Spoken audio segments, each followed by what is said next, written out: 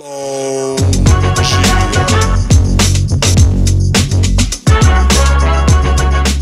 get the best crops by cold shocking and then soaking them. That's simulating the natural environmental triggers and which is like fall frost and rain.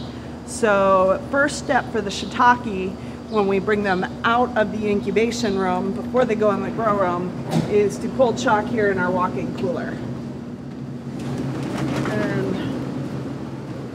That's what those guys are doing there. We're simulating fall. These are some cold shocked shiitake blocks. After the shiitake are done with the cold shocking, we slice open the bags. And then to give them some fall rain, we just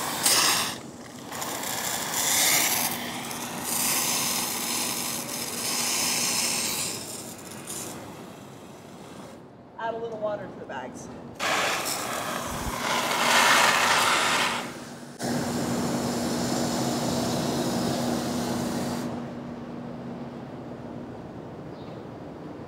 We let them sit overnight in the water and then we strip the bags off.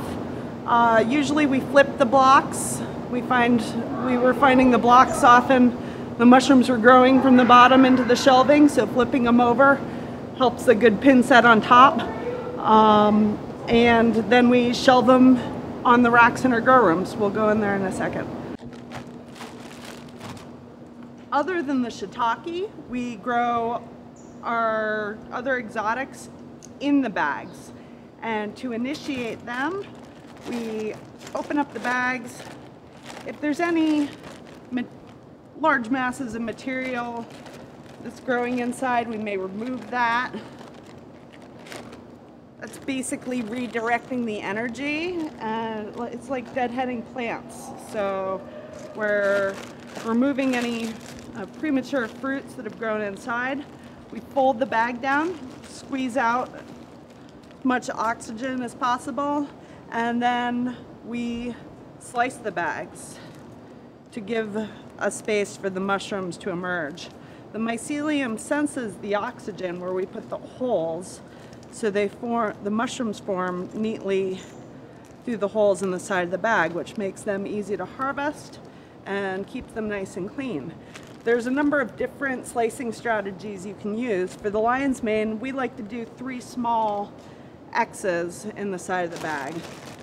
This is the oyster here, and there's not much material going there. A couple little pin sets. We're just gonna remove those and fold the bag down just with the lion's mane just like with the lion's mane. For a lot of the oyster strains, it's uh, we find it more efficient just to do one large X although we're always experimenting with different strategies and there's a lot of different, um, uh, each species has kind of its own preferences, if you will. Um, sometimes with some of the oyster strains, instead of cutting the X, we'll just remove the top part of the bag and let them fruit from the top. And everybody has their own preferences as far as growing, so it's and a lot of it can uh, uh, be based on your marketing strategy. Uh, if you're going to be selling at farmers markets, small clusters, a bunch of small holes like we do with the lion's mane is a great way to encourage the development of smaller fruit bodies and that are easy to pack in pints or retail packaging. The larger X's uh, produce a great yield, really large fruit bodies that are nice and dense and easy to pack for uh, larger bulk orders if you're marketing to restaurants or um, distributors.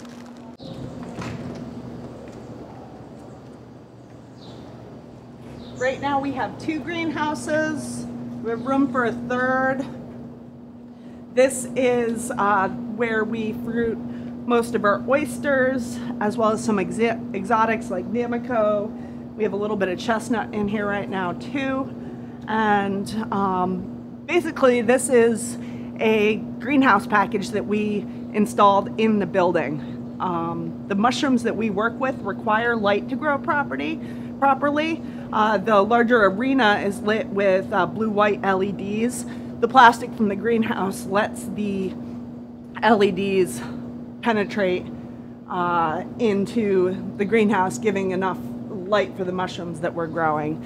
Um, a lot of grow rooms you'll need to install lighting inside, but um, this works really well in the situation we're in. So after the bags are initiated, this here was just done the other day. They're shelved and uh, brought into these grow rooms. And pretty quickly, the mushrooms start to develop at the uh, cut sites in the bags.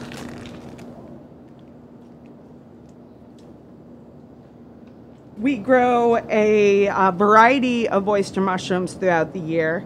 Uh, some prefer warmer temperatures, other prefer cooler conditions. I like to um, have as much diversity as possible. So if something's not working, we've got a, a great variety to fall back on.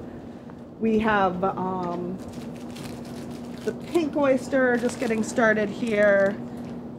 They're a warm weather lover. They grow well in the summer. Um, over here is another exotic. Uh, this is the Nameko. Uh, for uh, mid-June, it's um, pretty uncommon for us to have uh, Nameko growing, but it's been a pretty mild spring, and we've also added some new uh, greenhouse cooling to help extend our cold weather season. We find it's a lot easier to keep our growing environments warm than cool them down. In the winter, these greenhouses are heated with uh, radiant heat uh, that's um, installed in the slabs. It's a nice, um, stable, diffused bottom-up heat source. It maintains a nice uh, humidity level in the winter and um, uh, really nice growing environment in the winter months. In the summer, it's a lot harder to maintain a cool environment, but we've just installed some new evaporative coolers. There's the duct at the other end, and that has really helped us keep a cooler temperature, uh, although we're still getting to know the system. For oysters, we bring six to 700 blocks in every week, and that means we're taking out about six to 700 blocks a week. And we, they, they, the time they hang out varies based on the strain and just how vigorous they are. When they're tired, they let us know. We produce about 4,000 blocks a week. Uh, we fruit a number of those in-house, 1,200 shiitake, uh, 800 or six to 800 oyster, several hundred lion's mane and other exotics, but we also sell blocks to other farms. A lot of the process that you saw here was uh, is pretty equipment and labor intensive and a great option for people looking to get into uh, growing mushrooms to diversify crops or just starting out is to buy block, buy ready colonized blocks that are ready to enter the fruiting stage of the, the process. So we sell a number of shiitake and our other blocks to uh, growers on a variety of scales. And uh, the basically the incubation is complete. It's colonized, it's ready to grow. You just have to go through an initiation procedure to get them started. With the shiitake, after the, uh, the blocks are cold shocked and soaked, they get brought into the grow room to uh, begin the fruiting stage of their life cycle. So in the grow room, we maintain a relatively cool and humid environment to uh, support their growth. The environmental parameters can vary based on your space, but really we look to maintain temperatures between about 62 to 72. Uh, occasionally at uh, we have peaks and valleys out of that range, but that's a really uh, optimal range for a lot of uh, different varieties.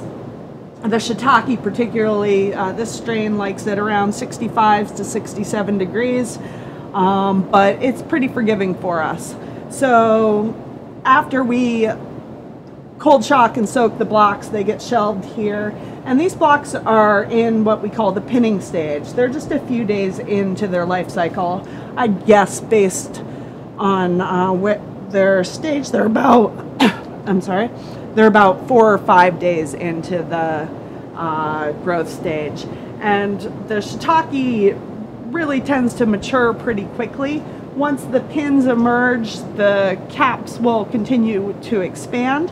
And uh, these blocks here, um, some of them have even been partially harvested, but you can tell the shiitake are ready to pick when the uh, caps have the caps have opened, the gills are exposed, but it's ideal to pick them before the caps have started to flatten uh, while the they're nice and rounded. That's where they have uh, the most um, meat for your mushroom.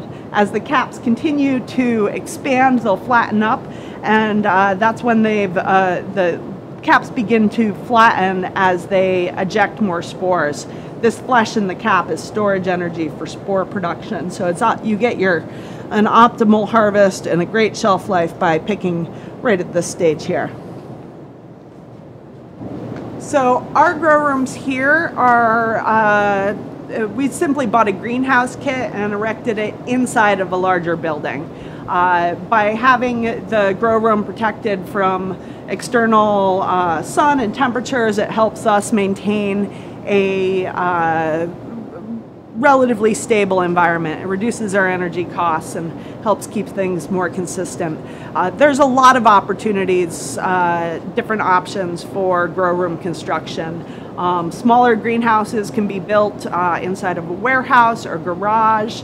Um, or a variety of structures. You know, the grow room environment is a high moisture environment, so you want to make sure you're equipped to handle that moisture wherever you're growing. Uh, back in our startup, we set up a small grow room tent in uh, the garage of the house.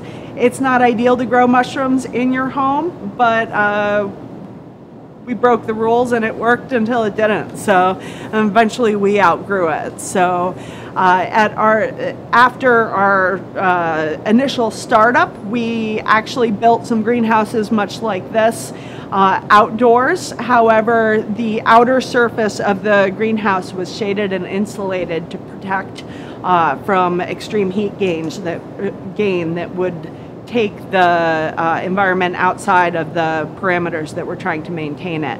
Um, that insulation required us to put lighting inside, again, as all the mushrooms that we grow actually require light to grow properly. So uh, a little bit of fluorescent or LED light usually does the trick, uh, but the direct sunlight uh, from a greenhouse in an outdoor environment can really um, cause some uh, large heat gain, which uh, is not optimal for the mushroom growth.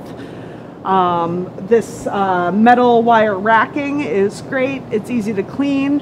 Uh, if you have a nice concrete surface, casters uh, really help with moving uh, material, but stationary shelves work fine.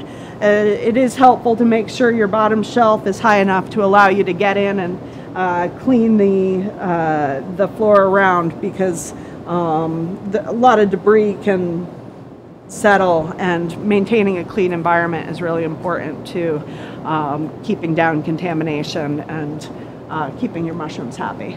After the mushrooms are harvested, uh, we get quick weights on them, we date them, and the faster you can get your mushrooms put away in re refrigeration, the better.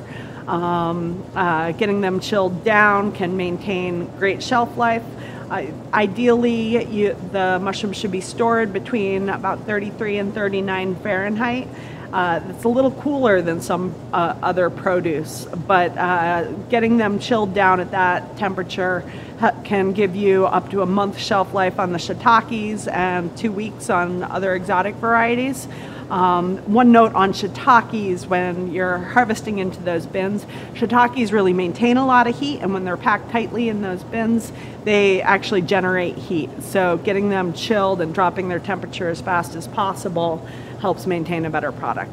Thanks for coming on the tour today. Hope you got a new view of what a mushroom farm looks like. And if you want to check out some more videos, uh, just subscribe to our channel.